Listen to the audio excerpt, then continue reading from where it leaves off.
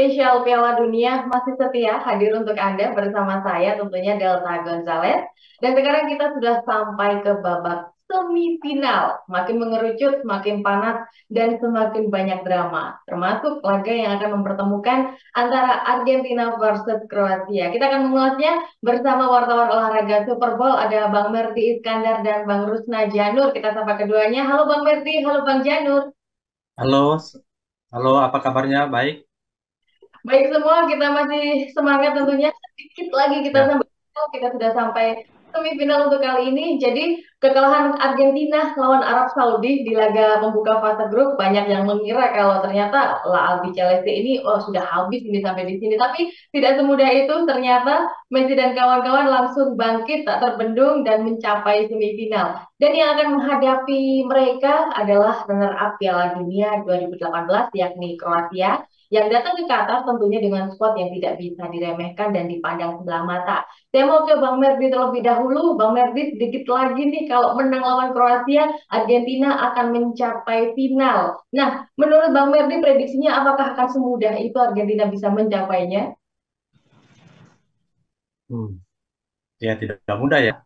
Kroasia kan runner up, tapi Argentina ternyata eh, ternyata memang makin panas ya. Artinya di game pertama dia kalah dengan Sa- Saudi Arabia. Ternyata yang memang itu apa penyakit di game pertama ya mungkin masih apa nervous atau menganggap enteng, kira kalah. Kekalahan yang tidak diduga, diduga-duga dan orang menganggap Argentina habis. Ternyata enggak. Di empat game berikutnya ya menang meyakinkan. Kecuali lawan Belanda kemarin ya tapi memang Belanda itu kan memang bukan lawan yang ecek-ecek ya jadi ya wajarlah kalau sampai perpanjangan waktu dan sampai ke adu penalti ya. Untung-untungan tapi ya juga di lawan Belanda kemarin kan juga kelihatan ya Argentina itu memang fight menunjukkan unggulnya cepat. Belandanya yang nggak mau apa yang yang nggak mau menyerah membalas menyamakan kira memaksakan sampai ke adu tendangan penalti. Nah sekarang ketemu Kroasia. Kroasia juga bukan lawan yang sembarangan. Dia runner up statusnya. Walaupun tua-tua tapi tua-tua apa seperti kelapa makin bersantan. Iya artinya nah Argentina ini muda-muda tapi ada ada sosok eh, Lionel Messi. Nah pemain yang muda-muda itu kan siapa yang tanda Messi Messi itu? Alvarez kan masih berapa? Awal 20 ya?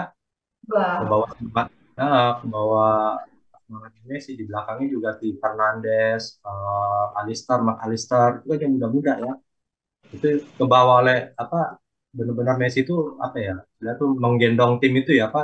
Dia jadi mentor jadi abang jadi kakak jadi suri toladan ke bawah semua pemain-pemain muda itu oleh semangat terbawa oleh semangat Messi itu kan. Dan eh, ternyata yang apa pemain muda itu ya memang juga memang Argentina ya artinya pemain muda itu bukan pemain muda sembarangan. Tapi pemain itu terbawa semangat Messi ya kita kita juga jadi ganas-ganas. Mengenai bagaimana besok lawan Kroasia ini enggak Modric juga bisa jadi motor timnya. Ketemu Messi yang membawa apa junior juniornya ini. Dahsyat ini kalau apa sih game ini game yang akan luar biasa. Itu saya Sudah ada cuplikannya juga kemarin waktu lawan Belanda. Mungkin itu sedikit cuplikan gambaran akan seperti apa sih semifinal. Jadi panas banget saat lawan Belanda kemarin. Bahkan ya nggak tahu ini wasitnya yang bermasalah atau memang permainannya yang agak bermasalah. Sampai 18 kartu kuning dikeluarkan oleh wasit waktu itu. Dan akhirnya juga wasitnya malah diberhentikan dari Piala Dunia ya, 2022. Itu saat Argentina versus Belanda yang memang eh, Belanda harus mengakui keunggulan dari Argentina yang memang on fire waktu itu. Nah, Bang Janur, sementara itu ini Kroasia em, kembali ya, mereka kembali membuktikan kalau mereka masih kompetitif di Piala Dunia edisi 2022 ini Eh, dan mungkin juga akan memiliki peluang besar nggak sih untuk bisa mengulang sejarah empat tahun yang lalu untuk bisa mencapai final untuk Kroasia. Saya kira kalau ngomong soal peluang cukup besar Kroasia. saya termasuk uh, penggemar tim-tim dari kawasan Balkan ya, termasuk Kroasia ini. Mereka mengandalkan kolektivitas, gitu kan. Sementara kalau Argentina ini kan uh, cenderung mengandalkan kemampuan individual gitu. Ah, Kroasia punya pengalaman bagus dengan mengalahkan Brasil di perempat final kemarin. Sama-sama negara Amerika Latin. Permainannya uh, sedikit-sedikit mirip dengan Argentina.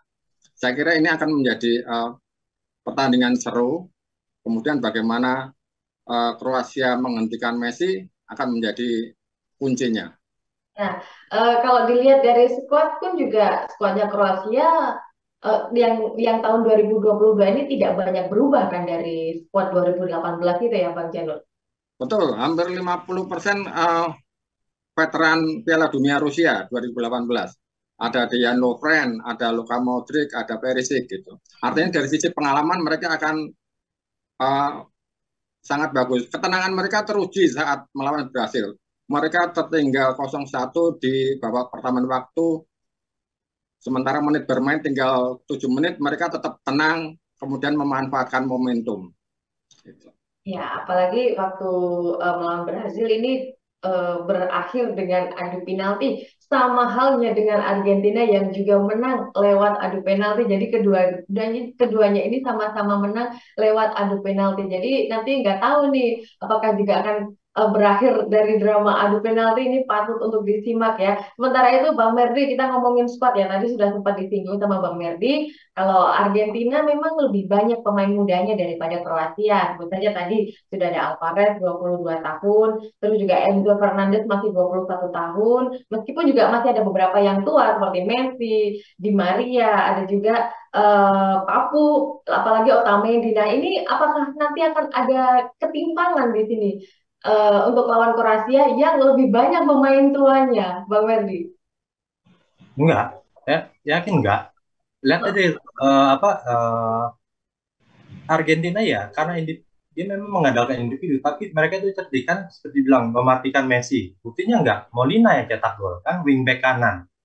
Wingback eh, dia masih muda loh ternyata Molina itu kan masih awal-awal 20 juga kan artinya saya yakin akan di marking nanti Messi ini. Uh, tapi dia kan orang tuh cerdik, artinya sama dia seperti dia akan menjalankan peran dia ketika di PSG ya kan. Dia di marking akhirnya dia akan dia akan istilahnya uh, di, uh, mengalihkan perhatian orang atau men, mengalihkan perhatian lawan. Jadi uh, dia akan mencoba menggiring pemain Kroasia nanti untuk marking dia. Nah nanti masuk uh, uh, siapa pelapis-pelapis kan si Molina itu bek kanan ya masuk dia kan. Dia cetak gol. Messi kemarin itu waktu lawan Belanda penalti kan? Ya. nah, kan? Jadi yang yang yang yang bola hidup itu kan si Molina itu kan. Jadi dia dengan terdikit di, di Messi itu semua pemain terpaku ke Messi kan. Pemain bertahan tuh terpaku ke Messi dia buka ruang Molina masuk pemain muda. Saya yakin Messi akan dijaga tapi saya yakin Messi akan menggunakan kecerdikannya itu. Sama perannya seperti dia di PSG kan. Dia membuka uh, ruang untuk si Kylian Mbappe untuk apa? Uh, apa uh, masuk ke dalam, masuk ke dalam kan ketika semua lawan terpaku ke dia dan uh, kembali ke pemain mudanya itu itu terbukti di, di game lawan uh, Belanda kemarin kan walaupun masih 24 tahun ternyata ganas juga si Molina itu kan si Alvarez juga begitu kan Uh, di belakangnya si Fernandes 22 juga. Terus ada Mike Allister 21, 21 22 itu kan muda juga ya kan. Tapi kita lihat itu kan Molina, uh, Fernandes, Mike Allister, Alvarez. Itu pemain muda. Tapi kita tahu efektifnya mereka bermain, cerdasnya mereka bermain. Jadi uh, saya rasa usia di sini hanya masalah angka aja ya. Hmm. Termasuk juga si Messi walaupun tua juga ya, ini cuma angka aja gitu nggak jadi masalah saya yakin di, di, di Argentina ini soal tua mudanya. Justru saya melihat ini kombinasi yang kombinasi tua dan muda yang luar biasa menurut hmm. saya. Messi 35 tahun ke ah. masih sangat kompetitif di sini untuk bisa menjadi pembimbing dari junior. Ya. Jadi uh, Messi sudah sangat uh, lama banget dia melepaskan egonya beda dengan rivalnya kemarin yang nangis masuk masuk ke Oke. Okay. Di, di sini saya lihat memang Messi ini agak lebih hebat dibandingin Ronaldo ya, sama-sama senior ya kan. Uh, Ronaldo agak-agak terlihat gagal ya membimbing pemain-pemain muda, tapi Messi sukses dia di Argentina, jadi mentor, jadi abang, jadi senior, di guru, si pembuka ruang, si pemberi kesempatan. Udahlah, mungkin Messi udah udah nggak ngejar top scorer. Yang penting tim gue menang, ya kan? Gue buka ruang selebar-lebarnya masuk yang muda, ya kan? Mm, Itu betul. saya lihat nanti. Sudah tidak mengejar gelar individu maupun rekor individu, meskipun tidak Ya. mengejar, tapi malah Messi masuk ke daftar top skor dengan pencapaian 4 gol. Ah, Kylian Mbappe dengan 5 gol. Eh, Oke, itu Messi yang memang akan menjadi aktor utama dalam laga versus Kroasia ini ya, Bang Janur. Eh, sementara itu Messi yang memang akan menjadi eh, apa ya aktor utama, mungkin akan dikawal habis-habisan oleh eh, pemain-pemain dari Kroasia. Nah ini kalau ngomongin Kroasia sebenarnya apa modal yang dimiliki untuk bisa menghentikan Messi? Ya, betul. Ah, Kroasia akan melakukan kesalahan besar jika dia melakukan man-to-man marking dengan Messi. Akan sangat sulit sekali dia uh, sangat cepat, sangat lincah gitu. Yang bisa dilakukan adalah mengisolasi dia dari timnya gitu, mulai dari lapangan tengah. Jangan biarkan Messi masuk ke wilayah area penalti. Karena gerakannya sangat cepat dan sangat mungkin memunculkan uh, memaksa pemain-pemain Kroasia melakukan pelanggaran. Paling tidak uh, mendapat tendangan bebas atau bahkan mungkin penalti. Gitu. Ya, oke. Okay. Uh, apalagi kemarin waktu melawan Belanda, uh, Van Dijk dan juga Frankie De Jong itu sampai nggak ngerti sebelum sebelum pertandingan gimana sih caranya untuk menghentikan Messi. Kalau kata Van Dijk, Messi itu sering kelayapan, sering keluyuran, jadi susah banget untuk uh, untuk dikawal. Apalagi juga De Jong juga uh, rekan setimnya waktu itu di Barcelona juga. Aku memang sudah sangat mengenal Messi, tapi aku nggak ngerti cara menghentikan Messi itu seperti apa. Nah ini PR juga ini buat uh, back-back Kroasia seperti itu ya, Bang Merdi. Messi akan sangat ya.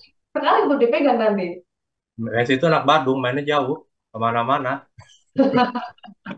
Oke. Okay. jelas-jelas gitu kan, Toto eh di sini, Toto masuk lagi orang, jadi dia memang ya memang udah skillnya level dewa sih. Mm -hmm. Kayak ngeliatnya tuh kayak dulu tuh ada mirip-mirip itu Ronaldinho ya di Barcelona kan juga berdua tuh ajaib-ajaib kan kombinasi yang luar biasa sih atau Ronaldo Brazil dulu juga kan termasuk pemain yang nggak tahu lah gitu. Ke mana-mana mainnya. Nggak Nah, bisa dipegang. Ya, itu dia uh, susahnya nanti uh, megang Messi. Lantas dengan Kroasia ini gaya permainannya, Bang Janur, kalau menurut saya bisa nggak sih kalau um, Kroasia uh, akan memainkan apa ya gaya bertahan seperti mereka saat berhadapan dengan Brazil dan ternyata juga uh, cukup bisa menghasilkan saat lawan Brazil. Apakah akan sama gayanya untuk lawan Argentina nanti? Betul. Uh, Kroasia akan tetap bermain kolektif, mengandalkan kolektivitas. Mulai dari, lapangan tengah ke belakang, mereka akan sangat uh, kuat karena uh, mereka tahu pemain-pemain Argentina ini sangat cepat, sangat bertalenta gitu. Kalau mengandalkan man to man marking, saya kira repot Kroasia. Zona marking ya. Karena untuk uh, berhadapan dengan Messi dengan pola man to man marking ini ya dan oke okay, ini uh, yang jadi sorotan di sini LM10 ya. Kroasia punya LM10, uh, Messi juga punya L, eh, Argentina juga punya LM10 alias Lionel Messi bernomor punggung 10 sama-sama kapten, Luka Modric juga bernomor bernomor punggung 10 sama-sama kapten dan mereka juga sama-sama Ballon d'Or. Nah, kan seperti apa nih prediksinya Bang Merdi? Argentina versus Kroasia. Hmm, berdua itu ya, Modric dengan dengan Messi itu ya. Ya kalau kalau Modric itu kan sebetulnya lebih di tengah ya, service apa uh, kalau si Messi itu di depan. Ya beda karakter, beda zona bermain, beda karakter. Dan kedua-duanya punya kelebihan. Si Messi dia efektif dalam cetak gol, dia luar biasa dalam membuka ruang. Kalau Modric itu kan dia luar biasa dalam setup apa build up uh, build up game ya membangun game apa dia kan orang pertama yang memulai di Kroasia itu kan di tim yang dia bela itu kan dia orang yang pertama yang apa yang, yang membuild up membangun serangan itu kan. Dia yang menentukan nanti bolanya ke mana gitu kan. Ya akan akan akan menarik di timnya. Pasti pertemuan uh, kedua orang ini kan. Satu uh, jenderal lapangan tengah satu eksekutor yang luar biasa. Kita lihat mana yang paling efektif. Apa uh, kita lihat mana yang nanti siapa yang paling produktif.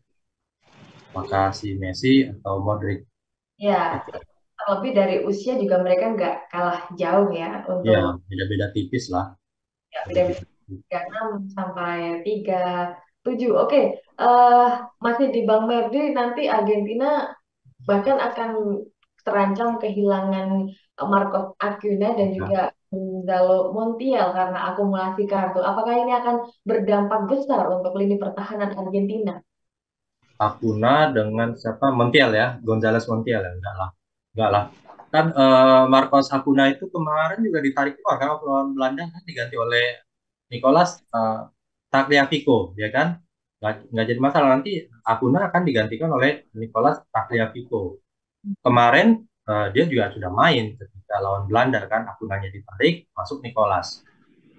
Terus kalau Montiel mungkin ya jarang main ini. Dia uh, lebih ke Molina ya.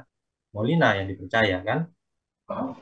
Ya kan di pos bek kanan itu kan uh, wing bek kanan itu kan Molina itu yang okay. kan nggak, nggak masalah itu kehilangan dua pemain itu nggak nggak masalah ya itulah kelebihan Argentina itu surplus pemain terlalu hebat jadi hmm. nggak pusing-pusing banget apalagi Akuna juga apa si pengga, si Tapuna absen Hmm. Gantinya Nicolas dan Nicolas kemarin sudah main waktu lawan Belanda menit berapa sudah di ujung-ujung kan. Tapi lumayan lama lah dia main. Terus si Montiel, posisi Montiel ada Molina, Molina kemarin tetap loh. Jadi tidak akan terlalu berpengaruh besar nah, untuk nah, nah. Uh, ini Bang Janur ini mungkin kemungkinan besar juga nanti akan berakhir dengan adu penalti. Kita tahu bagaimana garangnya Livakovic di beberapa laga terakhir. Uh, kita juga tahu seperti apa Emi Martinez mengawal gawangnya Argentina. Nah, prediksi dari Bang Janur, andai saja terjadi adu penalti, siapa yang akan lebih garang di sini?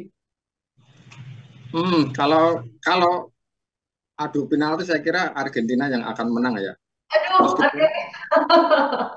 Gimana? Masih ada Messi belum pegang trofi.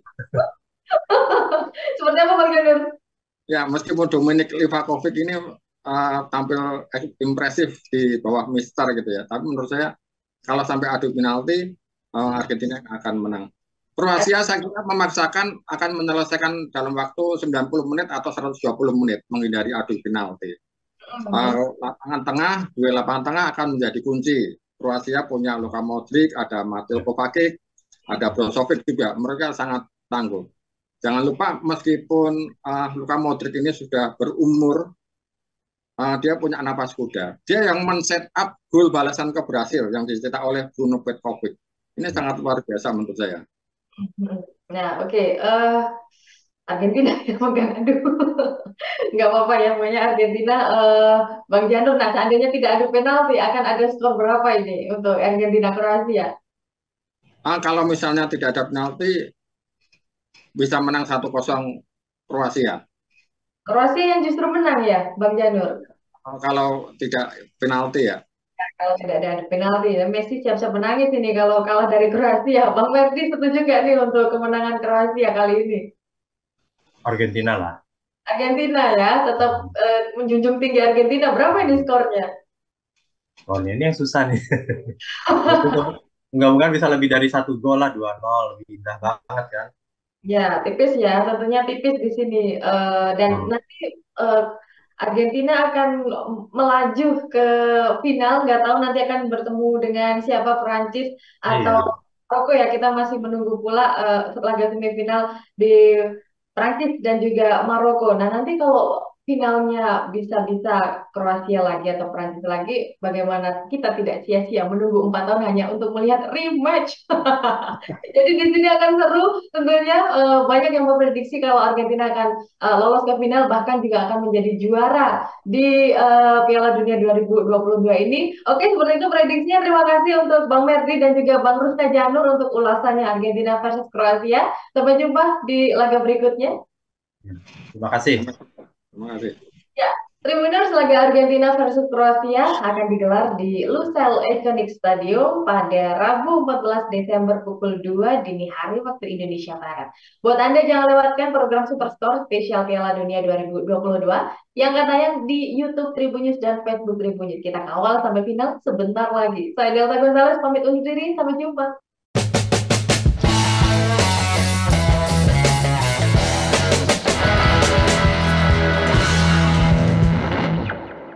Terima kasih sudah nonton. Jangan lupa like, subscribe, dan share ya.